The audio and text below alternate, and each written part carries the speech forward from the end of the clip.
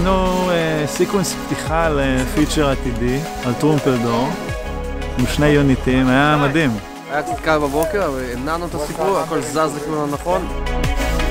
לדעתי, זה יהיה סופר מוצלח.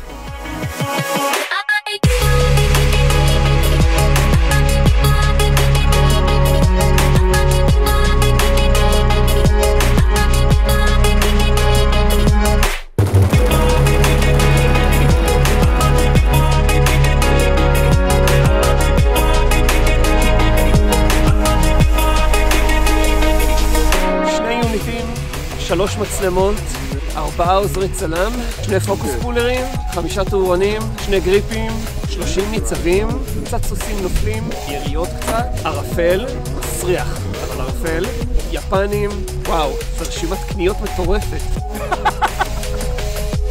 יאללה, בוא נעשה את הפיצ'ר. ביי.